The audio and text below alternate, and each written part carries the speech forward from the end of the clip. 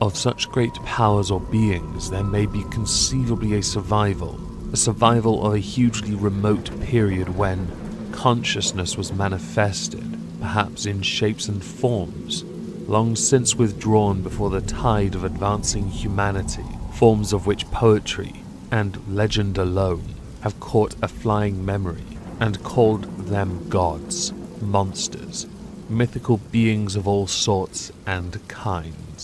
Chapter 1 The Horror in Clay. The most merciful thing in the world, I think, is the inability of the human mind to correlate all its contents. We live on a placid island of ignorance, in the midst of a black seas of infinity, and it was not meant that we should voyage far. The sciences, each straining in its own direction, have hitherto harmed us little, but some day the piercing together of dissociated knowledge will open up such terrifying vistas of reality and of our frightful position therein that we shall either go mad from the revelation or flee from the deadly light into the peace and safety of a new dark age. Theosophists have guessed at the awesome grandeur of the cosmic cycle wherein our world and human race form transient incidents. They have hinted at strange survival in terms which would freeze the blood if not masked by a bland optimism. But it is not from them that there came the single glimpse of forbidden aeons, which chills me when I think of it and maddens me when I dream of it. The glimpse like all dread glimpses of truth, flashed out from an accidental piecing together of separated things, in this case an old newspaper item and the notes of a dead professor. I hope that no one else will accomplish this piecing out. Certainly, if I live, I shall never knowingly supply a link in so hideous a chain. I think that the professor, too, intended to keep silent regarding the part he knew, and that he would have destroyed his notes had not sudden death seized him. My knowledge of the thing began in the winter of 1926 to 27 with the death of my grand uncle George Gammell Angell, Professor Emeritus of Semitic Languages in Brown University, Providence, Rhode Island. Professor Angell was widely known as an authority on ancient inscriptions and had frequently been resorted to by the heads of prominent museums, so that his passing at the age of 92 may be recalled by many. Locally, interest was intensified by the obscurity of the cause of death. The professor had been stricken whilst returning from the Newport boat, falling suddenly, as witnesses said, after having been jostled by a nautical looking man who had come from one of the queer dark courts on the precipitous hillside, which formed a short cut from the waterfront to the deceased's home in William Street. Physicians were unable to find any visible disorder, but concluded after perplexed debate that some obscure lesion of the heart, induced by the brisk ascent of so steep a hill by so elderly a man, was responsible for the end.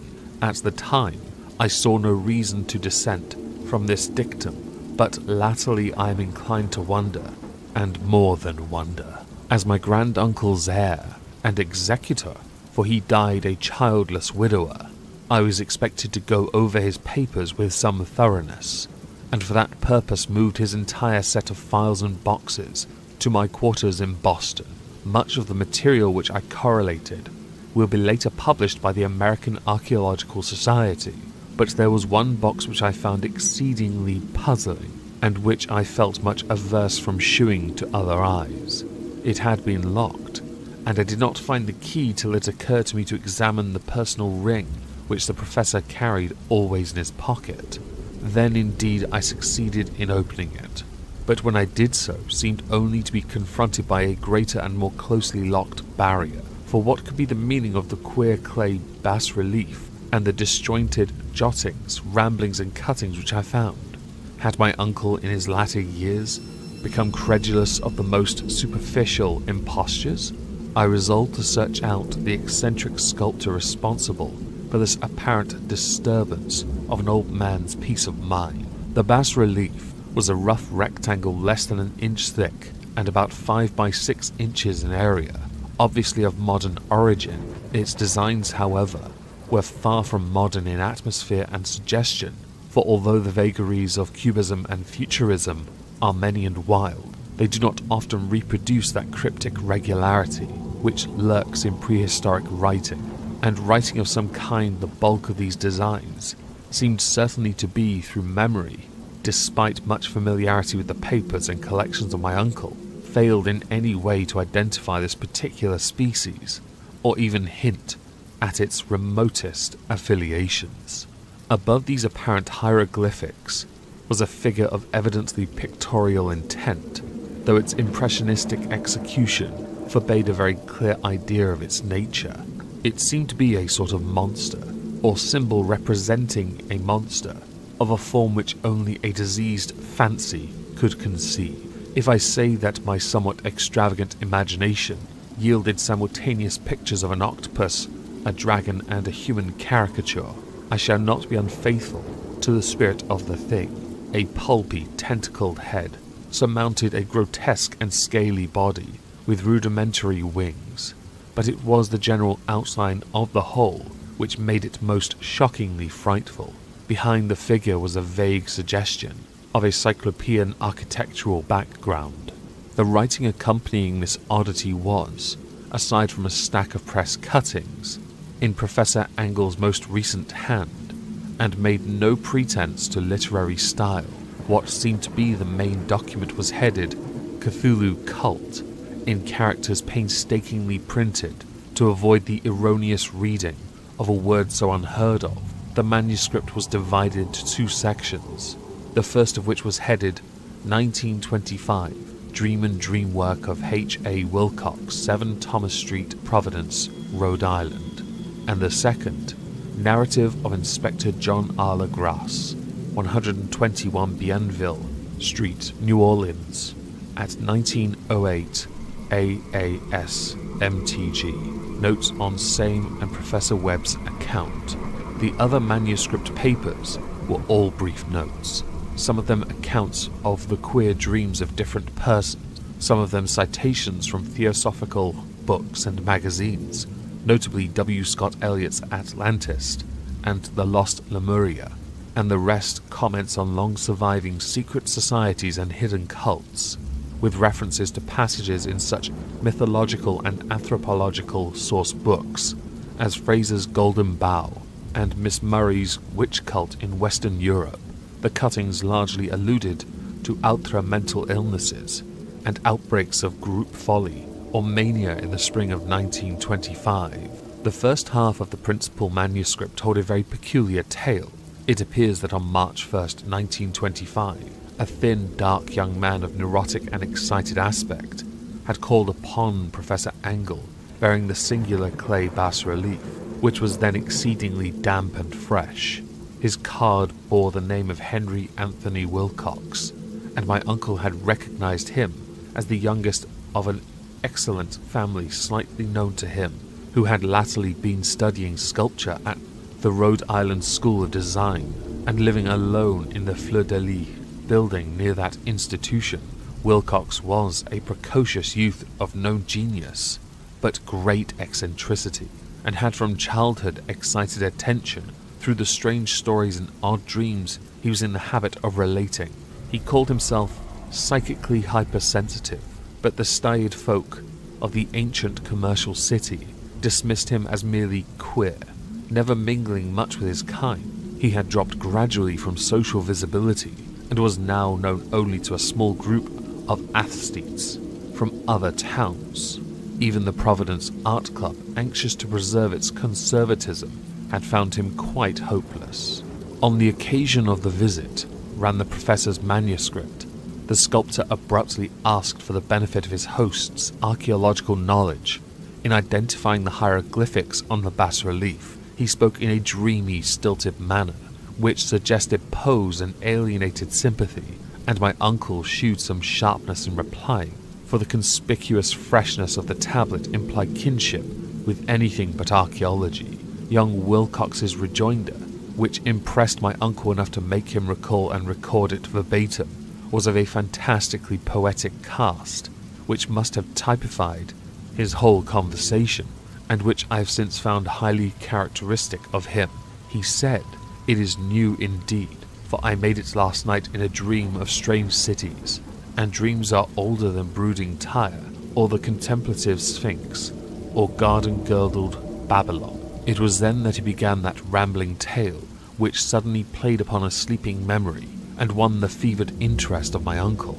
There had been a slight earthquake tremor the night before, the most considerable felt in New England for some years, and Wilcox's imagination had been keenly affected. Upon retiring, he had had an unprecedented dream of great cyclopean cities of Titan blocks and sky-flung monoliths, all dripping with green ooze and sinister with latent horror. Hieroglyphics had covered the walls and pillars, and for some undetermined point below had come a voice that was not a voice, a chaotic sensation which only fancy could transmute into sound, but which he attempted to render by the most unpronounceable jumble of letters, Cthulhu Fhtagn. This verbal jumble was the key to the recollection which excited and disturbed Professor Angell. He questioned the sculptor with scientific minuteness, and studied with almost frantic intensity the bas relief on which the youth had found himself working, chilled and clad only in his night clothes. When waking had stolen bewilderingly over him, my uncle blamed his old age. Wilcox afterwards said, for his slowness in recognizing both hieroglyphics and pictorial design. Many of his questions seemed highly out of place to his visitor, especially those which tried to connect the latter with strange cults or societies, and Wilcox could not understand the repeated promises of silence which he was offered in exchange for an admission of membership in some widespread mystical or paganly religious body. When Professor Angell became convinced that the sculptor was indeed arrogant of any cult or system or cryptic law, he besieged his visitor with demands for future reports of dreams. This bore regular fruit, for after the first interview, the manuscript records daily calls of the young man, during which he related startling fragments of nocturnal imagery whose burden was always some terrible cyclopean vista of dark and dripping stone, with a subterranean voice or intelligence shouting monotonously in enigmatical sense impacts, uninscribable save as gibberish.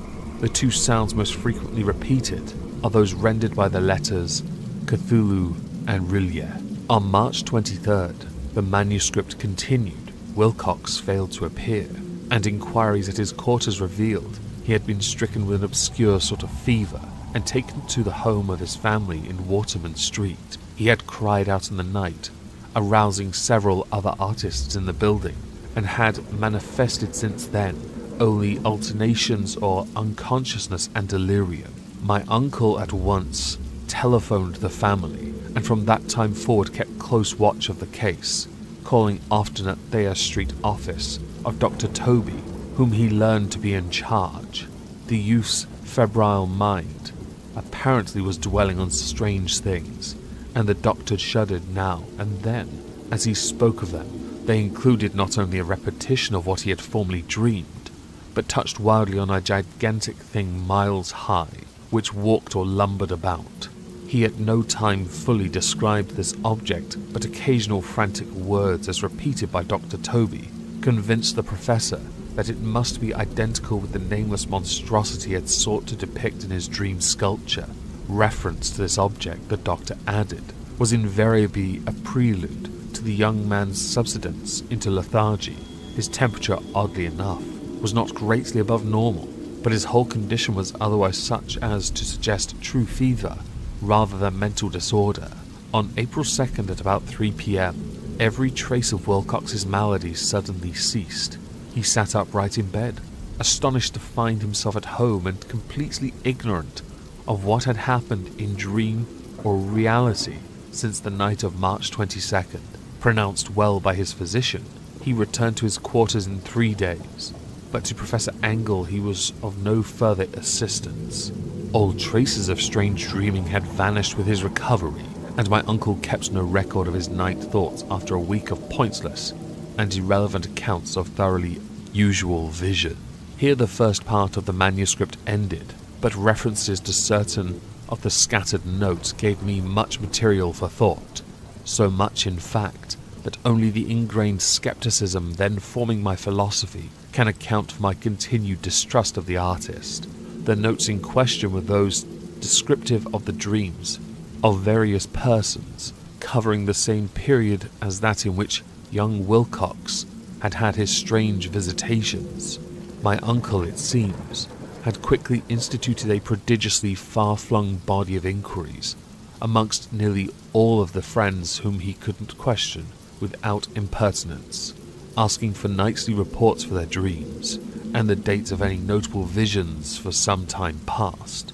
The reception of these requests seemed to have been varied, but he must, at the very least, have received more responses than any ordinary man could have handled without his secretary. This original correspondence was not preserved, but his notes formed a thorough and really significant digest. Average people in society and business, New England's traditional salt of the earth, gave an almost completely negative result, though scattered cases of uneasy but formless nocturnal impressions appear here and there, always between March 23rd and April 2nd, the period of young Wilcox's delirium.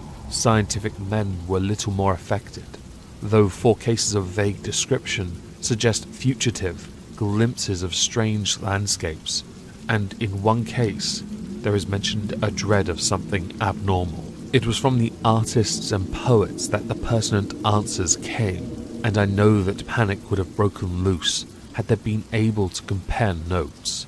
As it was, lacking their original letters, I half suspected the compiler of having asked leading question or of having edited the correspondence in corroboration of what he had latently resolved to see. That is why I continued to feel that Wilcox, somehow cognizant of the old data which my uncle had possessed, had been imposing on the veteran scientist. These responses from aesthetes had told a disturbing tale. From February 28th to April the 2nd, a large proportion of them had dreamed very bizarre things. The intensity of the dreams being immeasurably the stronger during the period of the sculptor's delirium.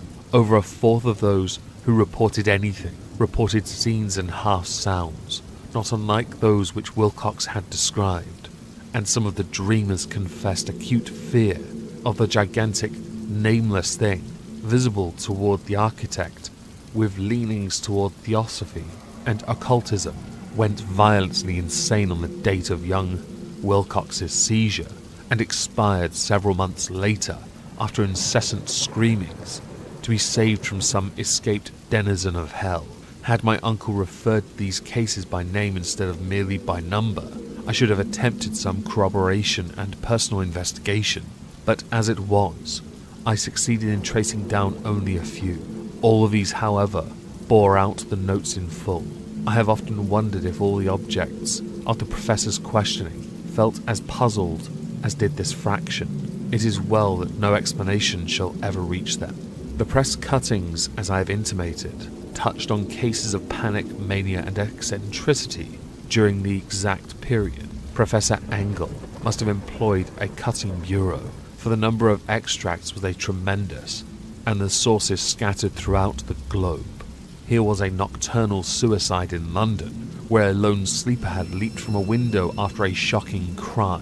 Here, likewise, a rambling letter to the editor of a paper in South America, where a fanatic deduces a dire future from visions he has seen. A dispatch from California describes a theosophist colony as donning white robes en masse for some glorious fulfillment which never arrives, whilst items from India speak guardedly of serious native unrest toward the end of March. Voodoo orgies multiply in Haiti, and African outposts report ominous mutterings. American officers in the Philippines find certain tribes bothersome about this time, and New York policemen are mobbed by hysterical Levantines on the night of March 22nd to 23rd. The west of Ireland, too, is full of wild rumour and legendary and fantastic painter named Ardois-Bonnot hangs a blasphemous dream landscape in the Paris Spring Salon of 1926. And so numerous are the recorded troubles in insane asylums that only a miracle can have stopped the medical fraternity from noting strange parallelisms and drawing mystified conclusion. A weird bunch of cuttings all told, and I can at this date scarcely envisage the callous rationalism of which I set them aside. But I was then convinced that young Wilcox had known of the older matters mentioned by the professor. Chapter 2 The Tale of Inspector Legrasse. The older matters which had made the sculptor's dream in bas relief so significant to my uncle formed the subject of the second half of his long manuscript. Once before, it appears, Professor Angell had seen the hellish outlines of the nameless monstrosity, puzzled over the unknown hieroglyphics, and heard the ominous syllables which can be rendered only as Cthulhu, and all this in so stirring and horrible connection that it is small wonder he pursued young Wilcox with queries and demands for data. The earlier experience had come in 1908, 17 years before, when the American Archaeological Society held its annual meeting in St. Louis. Professor Angell, as befitted one of his authority and attainments, had had a prominent part in all the deliberations, and was one of the first to be approached by the several outsiders who took advantage of the convocation to offer questions for correct answering and problems for expert solution. The chief of these outsiders, and in a short time the focus of interest for the entire meeting, was a commonplace looking middle aged man who had traveled all the way from New Orleans for certain special information unobtainable from any local source. His name was John Raymond Legrasse, and he was by profession an inspector of police. With him he bore the subject of his visit, a grotesque, repulsive, and apparently very ancient stone statuette, whose origin he was at a loss to determine. It must not be fancied that Inspector Legrasse had the least interest in archaeology. On the contrary, he wished for enlightenment, which was prompted by purely professional considerations. The statuette, idol, fetish, or whatever it was, had been captured some months before in the wooded swamps south of New Orleans during the raid on a supposed voodoo meeting, and so singular and hideous were the rites connected with it. That the police could not but realize that they had stumbled on a dark cult totally unknown to them and infinitely more diabolic than even the blackest of the African voodoo circles. Of its origin, apart from the erratic and unbelievable tales extorted from the captured members, absolutely nothing was to be discovered, hence the anxiety of the police for any antiquarian lore which might help them to place the frightful symbol, and through it track down the cult to its foundation head. Inspector Legrasse was scarcely prepared for the sensation which his offering created. One sight of the thing had been enough to throw the assembled men of science into a state of tense excitement, and they lost no time in crowding around him to gaze at the diminutive figure, whose utter strangeness and air of genuinely abysmal antiquity hinted so potently at unopened and archaic vistas. No recognized school of sculpture had animated this terrible object, yet centuries and even thousands of years seemed recorded in its dim and greenish surface of unplaceable stone. The figure which was finally passed slowly from man to man for close and careful study, was between seven and eight inches in height and of exquisitely artistic workmanship. It represented a monster of vaguely anthropoid outline, but with an octopus like head, whose face was a mass of feelers, a scaly, rubbery looking body, prodigious claws on hind and fore feet, and long, narrow wings behind. This thing, which seemed instinct with a fearsome and unnatural malignancy, was of a somewhat bloated corpulence, and squatted evilly on a rectangular block or pedestal covered with undecipherable characters. The tips of the wings touched the back edge of the block. The seat occupied the center, whilst the long curved claws of the doubled up, crouching hind legs gripped the front edge and extended a quarter of the way down toward the bottom of the pedestal. The cephalopod head was bent forward so that even the ends of the facial feelers brushed the backs of huge fore claws, which clasped the croucher's elevated knees.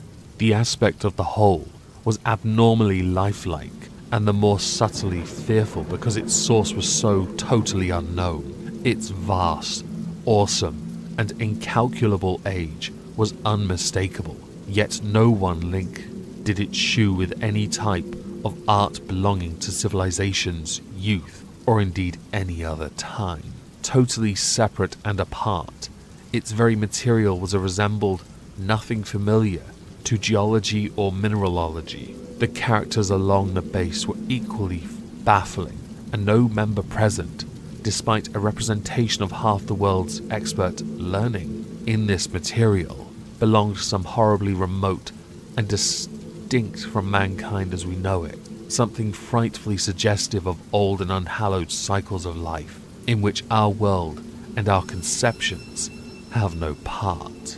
And yet, as the members severally shook their heads and confessed defeat at the inspector's problem, there was one man in that gathering who suspected a touch of bizarre familiarity in the monstrous shape and writing, and who presently told with some diffidence of the odd trifle he knew. The person was the late William Channing Webb, professor of anthropology in Princeton University and an explorer of no slight note. Professor Webb had been engaged 48 years before in a tour of Greenland and Iceland in search of some runic inscriptions which he failed to unearth, and whilst high up on the west Greenland coast, had encountered a singular tribal cult of degenerate Esquimaux, whose religion, a curious form of devil worship, chilled him with its deliberate bloodthirstiness and repulsiveness. It was a faith of which other Esquimaux knew little, and which they mentioned only with shudders, saying that it had come down from horribly ancient aeons, before ever the world was made. Besides nameless rites and human sacrifices, there were certain queer hereditary rituals addressed to a supreme elder devil, or Tornasuk, and of this Professor Webb had taken a careful phonetic copy from an aged angekok, or wizard priest, expressing the sounds in Roman letters as best he knew how. But just now, of prime significance, was the fetish which this cult had cherished, and around which they danced when the aurora leaped high over the ice cliffs.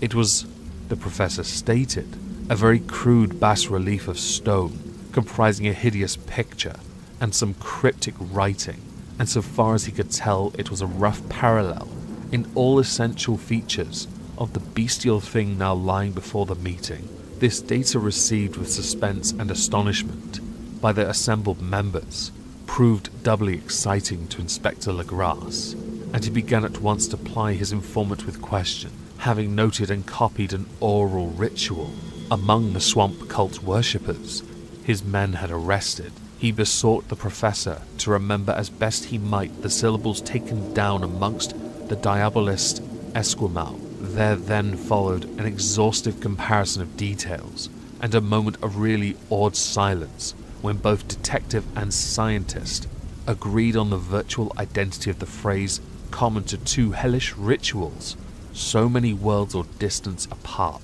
What, in substance, both the Esquimaux wizards and the Louisiana swamp priests had chanted to their kindred idols was something very like this.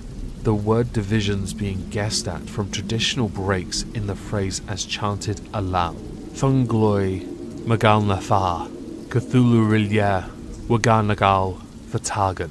Legrasse had one point in advance of Professor Webb, for several among his mongrel prisoners had repeated to him what older celebrants had told them the words meant.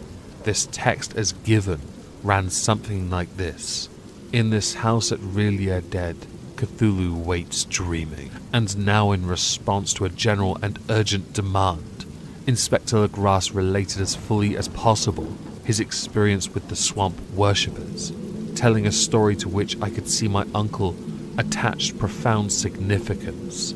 It savoured of the wildest dreams of mythmaker and theosophist, and disclosed an astonishing degree of cosmic imagination among such half castes and pariahs as might be least expected to possess it.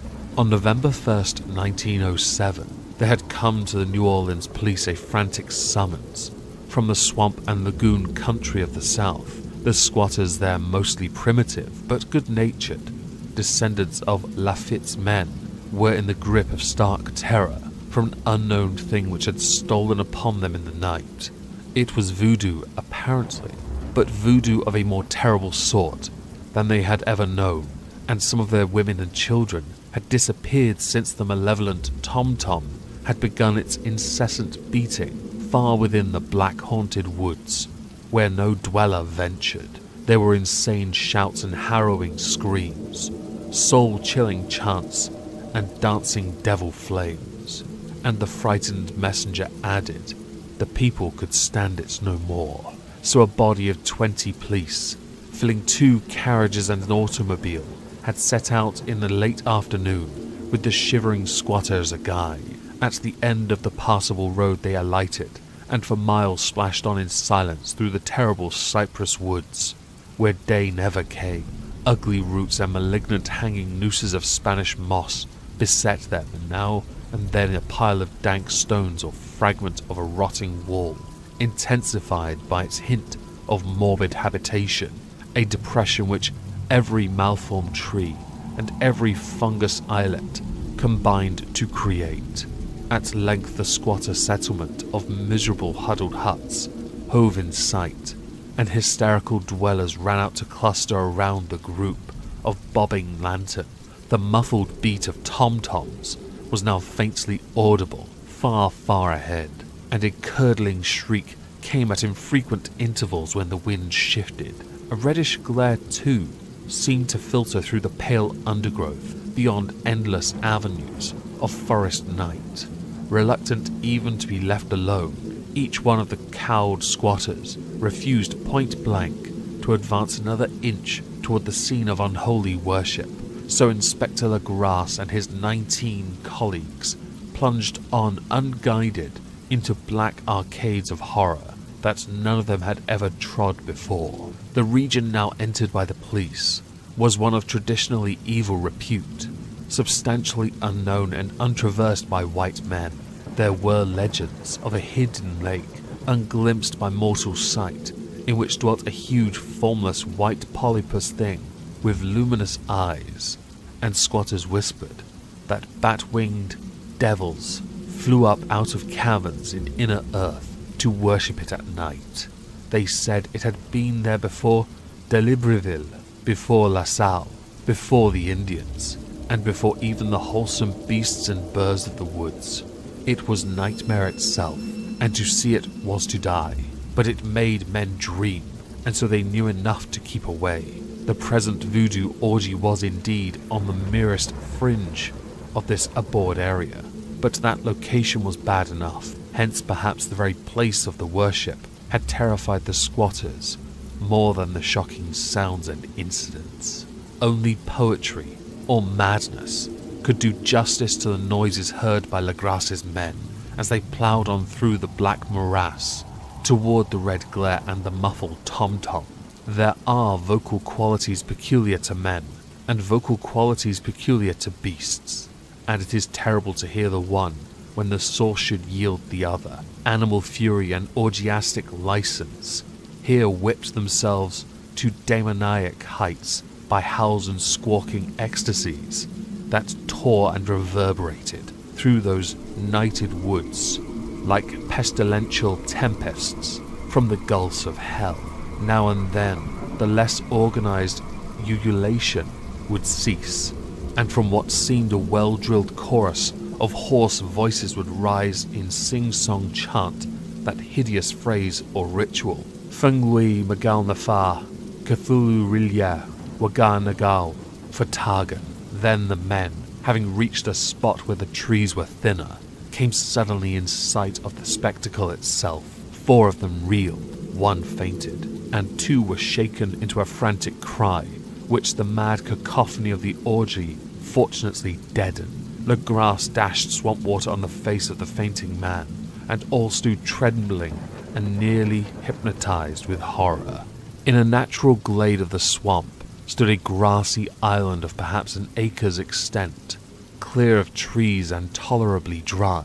On this now leaped and twisted a more indescribable horde of human abnormality to any but a Sime or an Angarola could paint. Void of clothing, this hybrid spawn were braying, bellowing, and writhing about a monstrous ring shaped bonfire, in the center of which, revealed by occasional rifts in the curtain of flame, stood a great granite monolith, some eight feet in height, on top of which, incongruous with its diminutiveness, rested the noxious carven statuette. From a wide circle of ten scaffolds set up at regular intervals with the flame girt monolith as a center hung, head downward, the oddly marred bodies of the helpless squatters who had disappeared. It was inside this circle that the ring of worshippers jumped and roared, the general direction of the mass motion being from left to right in endless bacchanal between the ring of bodies and the ring of fire. It may have been only imagination, and it may have been only echoes which induced one of the men an excitable Spaniard, to fancy he heard antiphonal responses to the ritual from some far and unillumined spot deeper within the wood of ancient legendary and horror. This man, Joseph D. Galvez, I later met and questioned, and he proved distractingly imaginative. He indeed went so far as to hint of the faint beating of great wings, and of a glimpse of shining eyes and a mountainous white bulk beyond the remotest trees. But I suppose he had been hearing too much native superstition. Actually, the horrified pause of the men was of comparatively brief duration. Duty came first, and although there must have been nearly a hundred mongrel celebrants in the throng, the police relied on their firearms and plunged determinedly into the nauseous rout. For five minutes, the resultant din and chaos were beyond description. Wild blows were struck, shots were fired, and escapes were made. But in the end, Legrasse was able to count some 47 sullen prisoners, whom he forced to dress in haste and fall into line between two rows of policemen. Five of the worshippers lay dead, and two severely wounded ones were carried away on improvised stretchers by their fellow prisoners. The image on the monolith, of course, was carefully removed and carried back by Legrasse. Examined at headquarters after a trip of intense strain and weariness, the prisoners all proved to be men of a very low mixed blood and mentally aberrant type. Most were seamen, and a sprinkling of black and mulattoes, largely West Indians and Brava Portuguese from the Cape Verde Islands, gave a colouring of voodooism to the heterogeneous cult but before many questions were asked, it became manifest that something far deeper and older than black fetishism was involved, degraded and ignorant as they were. The creatures held with surprising consistency to the central idea of their loathsome faith. They worshipped, so they said, the great old ones who lived ages before there were any men, and who came to the young world out of the sky. Those old ones were gone now, inside the earth and under the sea, but their dead bodies had told their secrets in dreams to the first men, who formed a cult which had never died.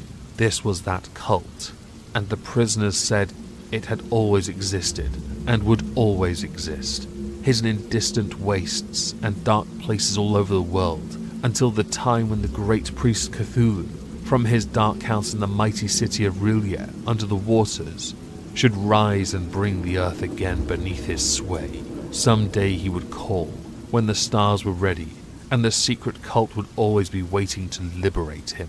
Meanwhile, no more must be told. There was a secret which even torture could not extract. Mankind was not absolutely alone among the conscious things of earth, for shapes came out of the dark to visit the faithful few. But these were not the great old ones. No man had seen the Old One. The carven idol was great Cthulhu, but none might say whether or not the others were precisely like him. No one could read the old writing now, but things were told by word of mouth. The chanted ritual was not the secret. That was never spoken aloud, only whispered. The chant meant only this. In his house at R'lyeh, dead Cthulhu waits dreaming. only two of the prisoners were found sane enough to be hanged, and the rest were committed to various institutions, all denied being a part in the ritual murders, and averred that the killing had been done by Black Wing Ones, which had come to them from their immemorial meeting place in the haunted wood. But of those mysterious allies, no coherent account could ever be gained. What the police did extract came mainly from immensely aged mestizo named Castro, who claimed to have sailed strange ports and talked with undying leaders of the cult in the mountains of China. Old Castro remembered bits of hideous legend that paled the speculations of theosophists and made men and the world seem recent and transient indeed. There had been aeons when other things ruled on earth, and they had great cities. Remains of them, he said the deathless Chinamen had told him, were still to be found as cyclopean stones on islands in the Pacific. They all died vast epochs of time before men came, but there were arts which could revive them when the stars had come round again for the right positions in the cycle of eternity. They had indeed come themselves from the stars and brought their images with them. These great old ones, Castro continued, were not composed altogether of flesh and blood. They had shape, for not this star fashioned image prove it, but that shape was not made of matter. When the stars were right, they could plunge from world to world through the sky, but when the stars were wrong, they could not live. But although they no longer live, they would never really die. They all lay in stone houses in their great city of R'lyeh, preserved by the spells of mighty Cthulhu for a glorious resurrection when the stars and earth might once more be ready for them. But at that time, some force from outside must serve to liberate their bodies. The spells that preserved them intact prevented them from making their initial move, and they could only lie awake in the dark and think whilst unaccounted millions of years rolled by. They knew all that was occurring in the universe, but their mode of speech was transmitted thought. Even now, they talked in their tombs, when after infinities of chaos, the first men came. The great old ones spoke to the sensitive among them by moulding their dreams, for only thus could their language reach the fleshly minds of mammals. Then, whispered Castro, those first men formed the cult around small idols, which the great ones shewed them. Idols brought in dim eras from dark stars. That cult would never die till the stars came right again, and the secret priests would take great Cthulhu from his tomb to revive his subjects and resume his rule on Earth. The time would be easy to know, for then mankind would have become as the great old ones, free and wild and beyond good and evil, with laws and morals thrown aside, and all men shouting and killing and reveling in joy. Then the liberated old ones would teach them new ways to shout and kill and revel and enjoy themselves, and all the earth would flame with a holocaust of ecstasy and freedom. Meanwhile, the cult, by appropriate rites, must keep alive the memory of those ancient ways and shadow forth the prophecy of their return. In the elder time, chosen men had talked with the entombed old ones in dreams, but then something had happened. The great stone city of R'lyeh, with its monoliths and sepulchres, had sunk beneath the waves, and the deep waters, full of the one primal mystery through which not even thought can pass, had cut off the spectral intercourse. But memory never died, and high priests said that the city would rise again when the stars were right. Then came out of the earth the black spirits of earth, mouldy and shadowy, and full of dim rumours picked up in caverns beneath forgotten sea bottoms. But of them old Castro dared not speak much. He cut himself off hurriedly, and no amount of persuasion or subtlety could elicit more in this direction. The size of the old ones, too, he curiously declined to mention. Of the cult, he said he thought the center lay amid the pathless deserts of Arabia, where Irem, the city of pillars, dreams hidden and untouched. It was not allied to the European witch cult, and was virtually unknown beyond its members. No book had ever really hinted of it, though the deathless Chinamen said there were double meanings in the Necronomicon of the mad Arab Abdul Alhazred, which the initiated might read as they choose, especially the much discussed couplet, That is not dead which can eternal lie, and with strange aeons even death may die. Legrasse, deeply impressed and not a little bewildered, had inquired in vain concerning historic affiliations of the cult. Castro apparently had told the truth when he said it was wholly secret, that the authorities at Tulane University could shed no light upon either cult or image, and now the detective had come to the highest authorities in the country and met with no more than the Greenland tale of Professor Webb. The feverish interest aroused at the meeting by Legrasse's tale, corroborated as it was by the statuette, is echoed in the subsequent correspondence of those who attended, although scant mentions in the formal publications of the Society. Caution is the first care of those accustomed to face occasional charlatanry and imposture. Legrasse for some time lent the image to Professor Webb, but at the latter's death it was returned to him and remains in his possession, where I viewed it not long ago. It is truly a terrible thing, and unmistakably akin to the dream sculpture of young Wilcox. That my uncle was excited by the tale of the sculptor I did not wonder, for what thoughts must arise upon hearing, after a knowledge of what Legrasse had learned of the cult, of a sensitive young man who had dreamed not only the figure and exact hieroglyphics of the swamp found image and Greenland devil tablet, but had come in his dreams upon at least three of the precise words of the formula uttered alike by Esquimaux diabolists and mongrel Louisianans? Professor Angell's instant start on an investigation of the utmost thoroughness was eminently natural, though privately I suspected young Wilcox of having heard of the cult in some indirect way, and having invented a series of dreams to heighten and continue the mystery at my uncle's expense. The dream narratives and cuttings collected by the professor were, of course, strong corroboration, but the rationalism of my mind and the extravagance of the whole subject led me to adopt what I thought the most sensible conclusion. So, after thoroughly studying the manuscript again and correlating the theosophical and anthropological notes with the cult narrative of Legrasse, I made a trip to Providence to see the sculptor and give him the rebuke I thought proper for so boldly imposing upon a learned and aged man. Wilcox still lived alone in the Fleur de Lis building in Thomas Street, a hideous Victorian imitation of 17th century Breton architecture, which flaunts its stuccoed front amidst the lovely colonial houses on the ancient hill, and under the very shadow of the finest Georgian steeple in America. I found him at work in his rooms, and at once conceded from the specimens scattered about that his genius is indeed profound and authentic.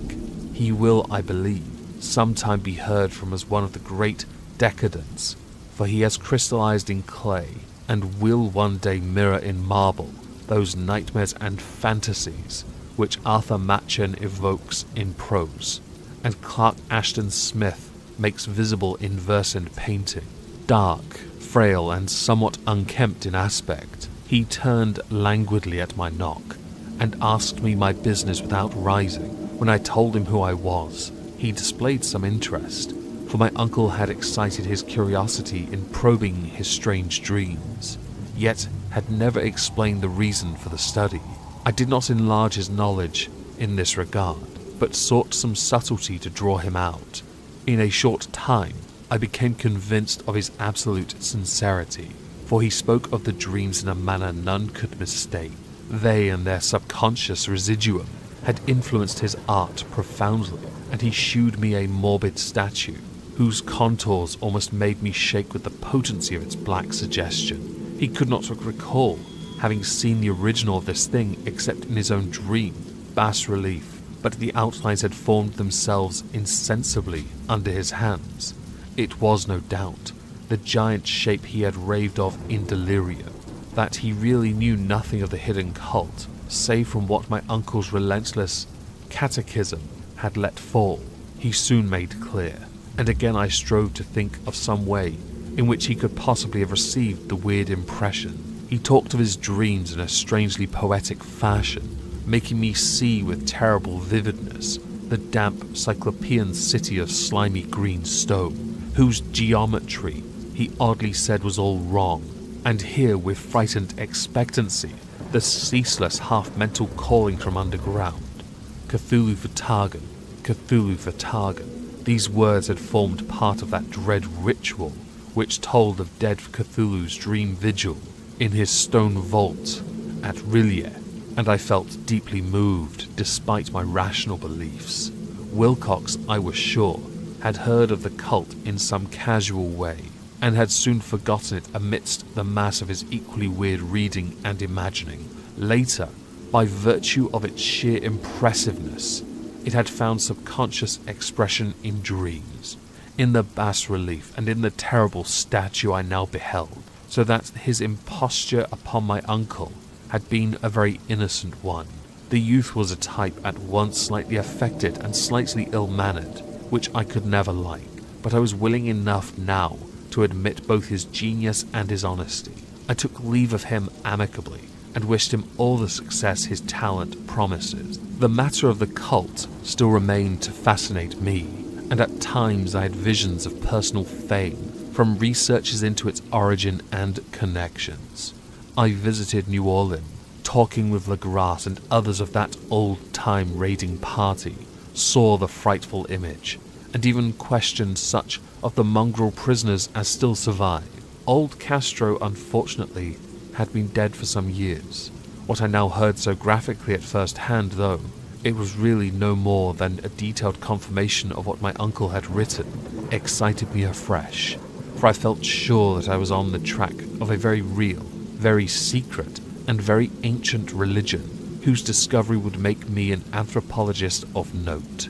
My attitude was still one of absolute materialism, as I wish it still were, and I discounted with almost inexplicable perversity the coincidence of the dream notes and odd cuttings collected by Professor Angell. One thing I began to suspect, and which I now fear I know, is that my uncle's death was far from natural. He fell on a narrow hill street leading up from an ancient waterfront swarming with foreign mongrels. After a careless push from a black sailor, I did not forget the mixed blood and marine pursuits of the cult members in Louisiana and would not be surprised to learn of secret methods and poison needles as ruthless and as anciently known as the cryptic rites and beliefs. Legrasse and his men, it is true, have been let alone, but in Norway a certain seaman who saw things is dead. Might not the deeper inquiries of my uncle, after encountering the sculptor's data, have come to sinister ears? I think Professor Angell died because he knew too much, or because he was likely to learn too much. Whether I shall go as he did remains to be seen, for I have learnt much now. Chapter 3 The Madness from the Sea. If heaven ever wishes to grant me a boon, it will be a total effacing of the results of a mere chance which fixed my eye on a certain stray piece of shelf paper. It was nothing on which I would naturally have stumbled in the course of my daily round, for it was an old number of an Australian journal, the Sydney Bulletin, for April 18th, 1925. It had escaped even the cutting bureau, which had at the time of its issuance been avidly collecting material for my uncle's research. I had largely given over my inquiries into what Professor Angell called the Cthulhu cult and was visiting a learned friend in Paterson, New Jersey, the curator of a local museum and a mineralogist of note.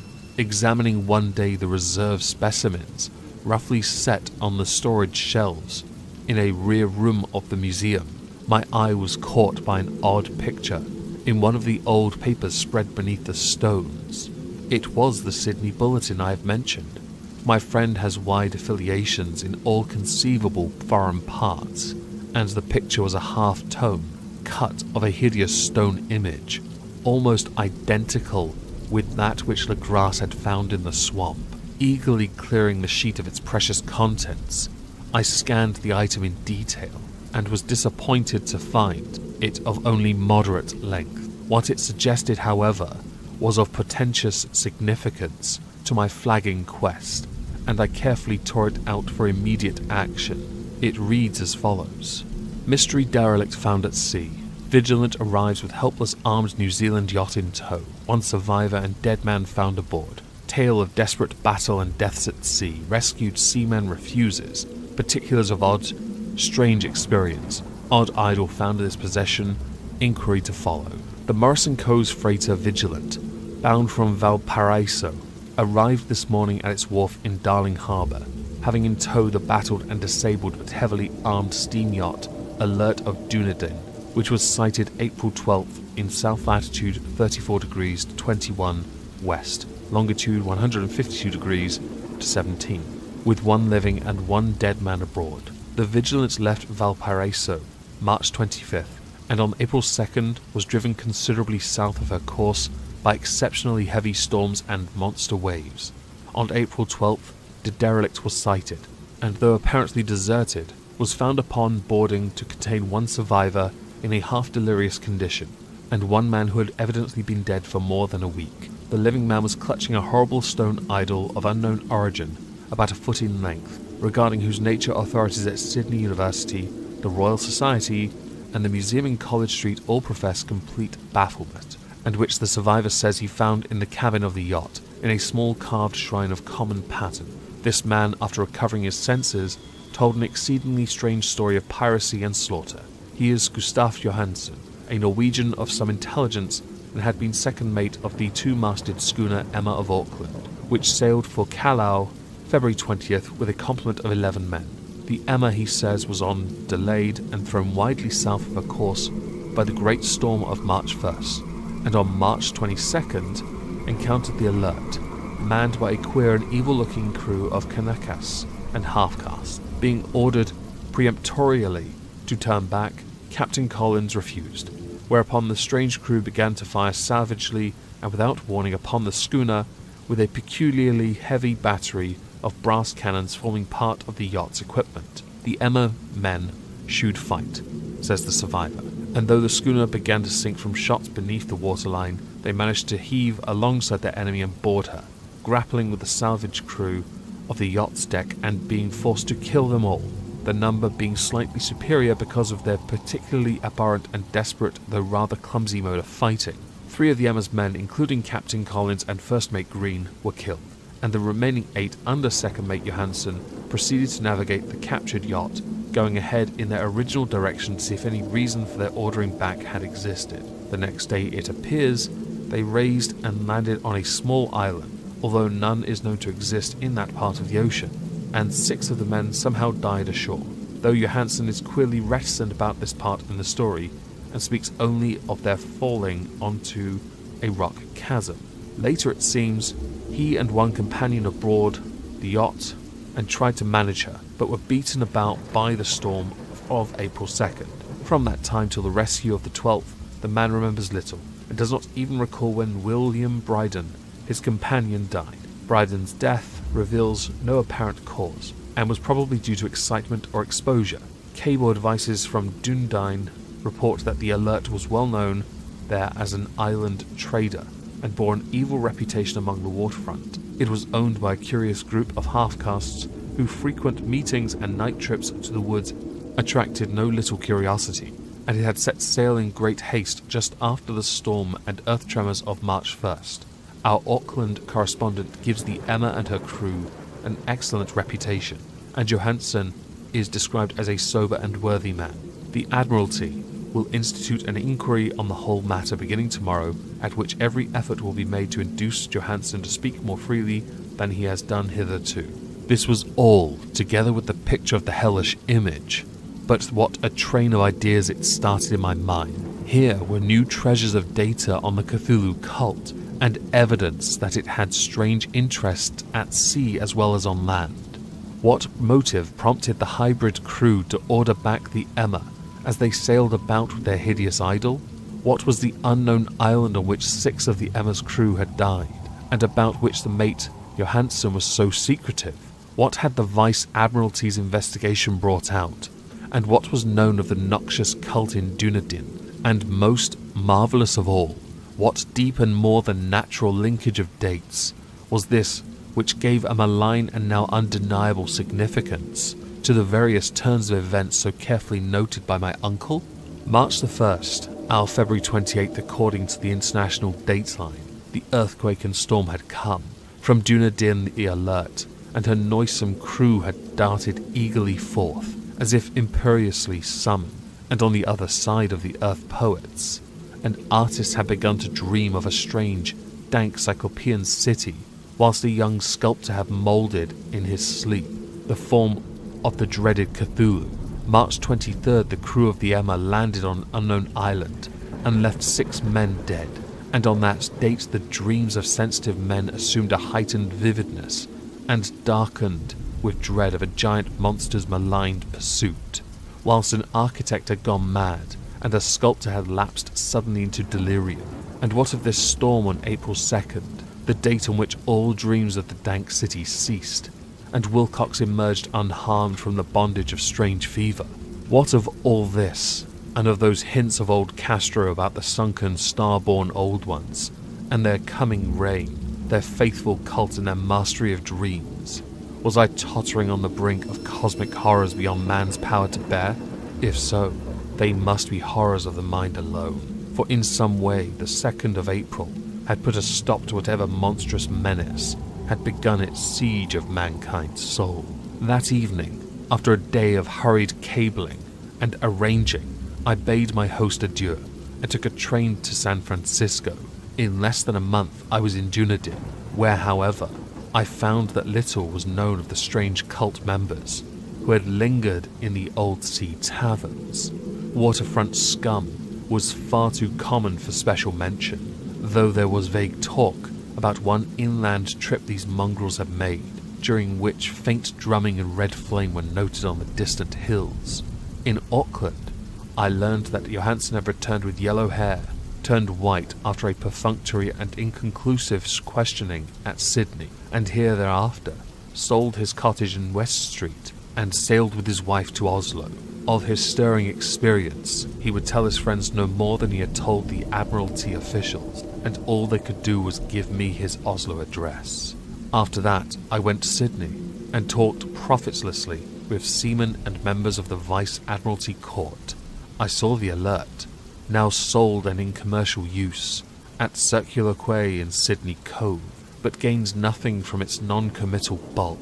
The crouching image, with its cuttlefish head, Dragons studied it long and well, finding it a thing of balefully exquisite workmanship, and with the same utter mystery, terrible antiquity, and unearthly strangeness of material which I had noted in Legrasse's smaller specimen. Geologists, the curator told me, had found it a monstrous puzzle, for they vowed that the world held no rock like it. Then I thought, with a shudder, of what old Castro had told Legrasse about the primal great ones. They had come from the stars and brought their images with them. Shaken with such a mental revolution as I had never before known, I now resolved to visit Mate Johansen in Oslo.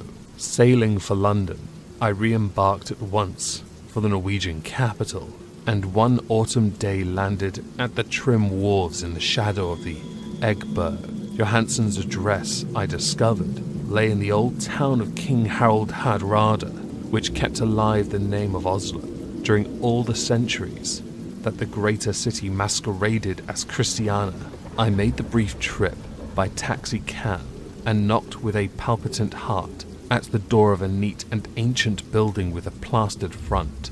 A sad faced woman in black answered my summons, and I was stung with disappointment when she told me in halting English that Gustav Johansen was no more. He had not survived his return, said his wife, for the doing at sea in 1925 had broken him. He had told her no more than he had told the public, but had left a long manuscript of technical matters, as he said, written in English, evidently in order to safeguard her from the peril of casual perusal during a walk through a narrow lane.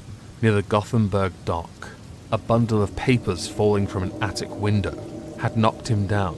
Two Lascar sailors at once helped him to his feet, but before the ambulance could reach him, he was dead. Physicians found no adequate cause for the end and laid it to heart trouble and a weakened constitution.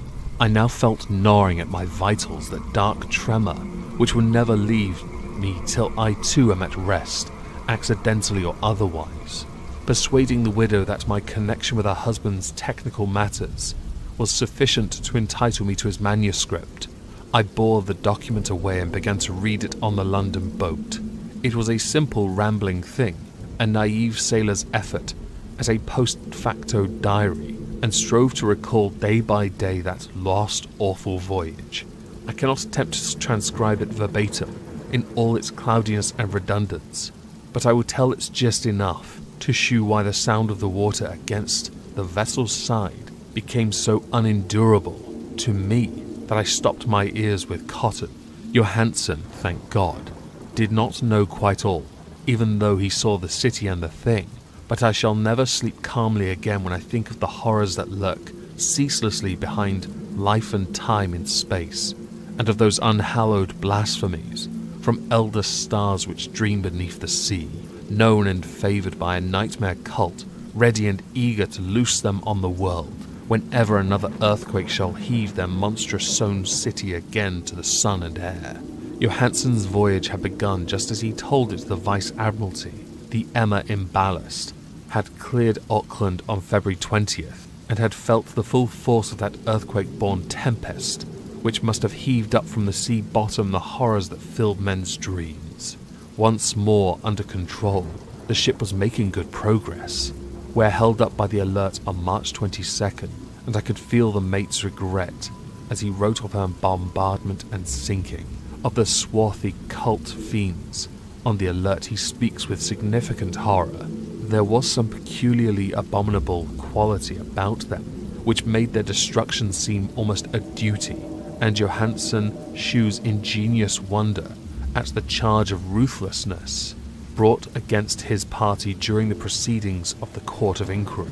Then, driven ahead by curiosity in their captured yacht, under Johansen's command, the men sight a great stone pillar sticking out of the sea, and in S latitude 47.9W, longitude 126 to 43, come upon a coastline of mingled mud, ooze, and weedy cyclopean masonry, which can be nothing less than the tangible substance of Earth's supreme terror, a nightmare corpse city of R'lyeh that was built in measureless aeons before history by the vast, loathsome shapes that seeped down from the dark stars. There lay great Cthulhu and his hordes, hidden in green, slimy vaults, and sent out at last after cycles incalculable, the thoughts that spread fear to the dreams of the sensitive and called imperiously to the faithful to come on a pilgrimage of liberation and restoration.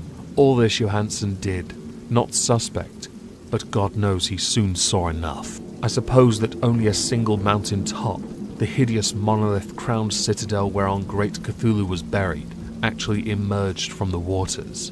When I think of the extent of all that may be brooding down there, I almost wish to kill myself forthwith. Johansen and his men were awed by the cosmic majesty of this dripping, Babylon of elder daemons, and must have guessed, without guidance, that it was nothing of this or of any sane planet, or at the unbelievable size of the greenish stone blocks, at the dizzying height of the great carven monolith, and at the stupefying identity of the colossal statues and bas reliefs with the queer image found in the shrine on the alert, is poignantly visible in every line of the mate's frightened description.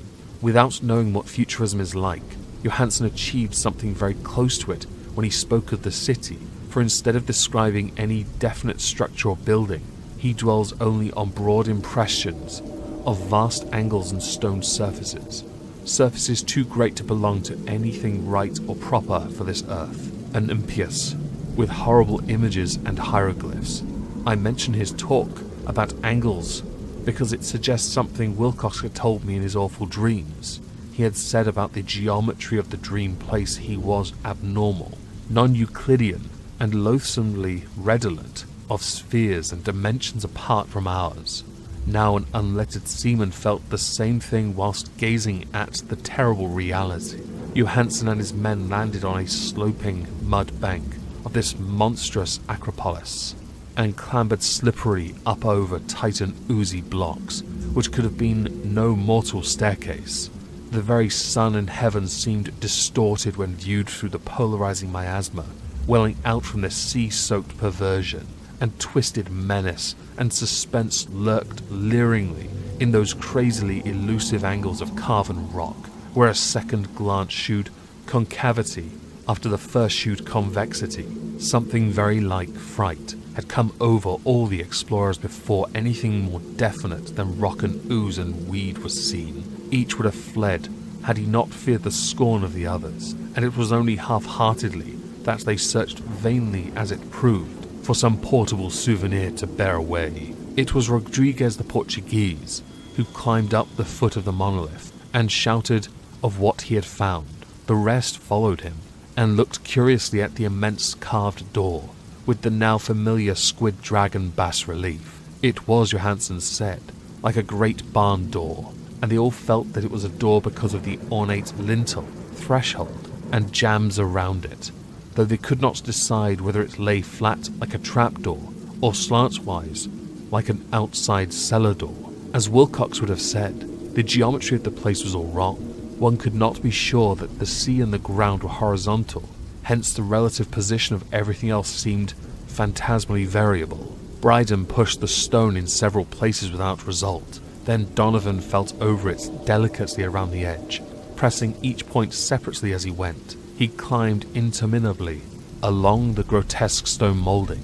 That is, one would call it climbing if a thing was not, after all, horizontal, and the men wondered how any door in the universe could be so vast. Then, very softly and slowly, the acre great panel began to give inward at the top, and they saw it was balanced.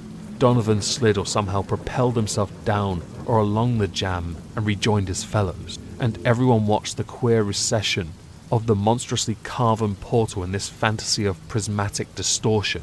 It moved anomalously in a diagonal way so that all rules of matter and perspective seemed upset. The aperture was black with a darkness almost material. The tenebrousness was indeed a positive quality, for it obscured such parts of the inner walls as ought to have been revealed, and actually burst forth like smoke from its aeon long imprisonment, visibly darkening the sun as it slunk away into the shrunken and gibbous sky on flapping membranous wings. The odour arising from the newly opened depths was intolerable, and at length the quick eared Hawkins thought he heard a nasty slopping sound down there. Everyone listened, and everyone was listening still when it lumbered slobberingly into sight and groping squeezed its gelatinous green immensity through the black doorway into the tainted outside air of that poisoned city of madness. Poor Johansen's handwriting almost gave out when he wrote of this. Of the six men who never reached the ship, he thinks two perished of pure fright in that accursed instant. The thing cannot be described. There is no language for such abysms of shrieking, immemorial lunacy such eldritch contradictions of all matter, force, and cosmic order. A mountain walked or stumbled. God, what wonder that across the earth a great architect went mad, and poor Wilcox raved with fever in that telepathic instant. The thing of the idols. The green, sticky spawn of the stars had awaked to claim his own. The stars were right again, and what an age old cult had failed to do by design band of innocent sailors had done by accident. After vigintillions of years, great Cthulhu was loose again and ravening for delight. Three men were swept up by the flabby claws before anyone turned. God rest him, if there be any rest in the universe. They were Donovan, Guerrera, and Angstrom.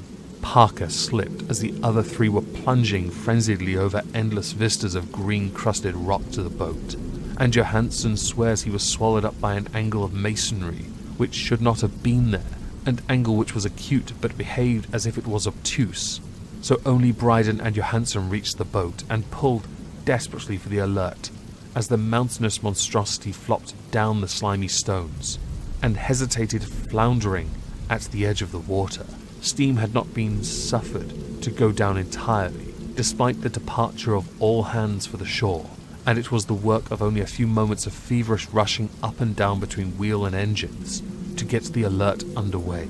Slowly, amidst the distorted horrors of that indescribable scene, she began to churn the lethal waters, whilst on the masonry of that charnel shore there was not of earth the titan thing from the stars, slavered and gibbered like Polypheme cursing the fleeing ship of Odysseus. Then, bolder than the storied Cyclops, great Cthulhu slid greasily into the water and began to pursue the vast wave-raising strokes of cosmic potency. Briden looked back and went mad, laughing shrilly as he kept on laughing at intervals till death found him one night in the cabin while Johansen was wandering delirious. But Johansen had not given out yet. Knowing that the thing could surely overtake the alert until steam was fully up, he resolved on a desperate chance, and setting the engine for full speed, ran lightning like on deck and reversed the wheel. There was a mighty eddying and foaming in the noisome brine, and as the steam mounted higher and higher, the brave Norwegian drove his vessel head on against the pursuing jelly, which rove above the unclean froth like the stern of a demon galleon. The awful squid head, with writhing feelers, came nearly up to the bowsprit of the sturdy yacht, but Johansen drove on relentlessly. There was a bursting as of an exploding bladder, a slushy nastiness as of a cloven sunfish, a stench as of a thousand opened graves, and a sound that the chronicler would not put on paper. For an instant the ship was befouled by an acrid and blinding green cloud and then there was only a venomous seething astern, where God in heaven, the scattered plasticity of that nameless sky spawn was nebulously recombining in its hateful original form, whilst its distance widened every second as the alert gained impetus from its mounting steam. That was all. After that, Johansen only brooded over the idol in the cabin and attended to a few matters of food for himself and the laughing maniac by his side. He did not try to navigate after the first bold flight, for the reaction had taken something out of his soul. Then came the storm of April 2nd, and a gathering of the clouds about his consciousness. There is a sense of spectral whirring through liquid gulfs of infinity, of dizzying rides through reeling universes on a comet's tail, and of hysterical plunges from the pit to the moon, and from the moon back to the pit, all livened up by a cachinnating chorus of the distorted, hilarious elder gods and the green bat-winged mocking imps of Tartarus. Out of that dream came rescue, the Vigilant, the Vice Admiralty court the streets of Dunedin, and the long voyage back home to the old houses by the Egeberg. He could not tell they would think him mad. He would write of that he knew before death came, but his wife must not guess. Death would be a boon if only it could blot out the memories. That was the document I read, and now I shall have placed it in the tin box beside the bas relief and the papers of Professor Angell. With it shall go this record of mine, this test of my own sanity, wherein is pieced together that which I hope may never be pieced together again. I have looked upon all that the universe has told of horror, and even the skies of spring and the flowers of summer must ever afterward be poison to me but I do not think my life will be long. As my uncle went, as poor Johansen went, I shall go. I know too much, and the cult still lives. Cthulhu still lives too, I suppose. Again in that chasm of stone which has shielded him since the sun was young. His accursed city is sunken once more, for the Vigilant sailed over the spot after the April storm. But his ministers on earth still bellow and prance and slay around idol capped monoliths in lonely places. He must have been trapped by the sinking whilst within his black abyss, or else the world would by now be screaming with fright and frenzy. Who knows the end? What has risen may sink, and what has sunk may rise. Loathsomeness waits, and the dreams in the deep, and decay spreads over the tottering cities of men. A time will come, but I must not and cannot think Let me pray that if I do not survive this manuscript, my executors may put caution before audacity and see that it meets no other eye.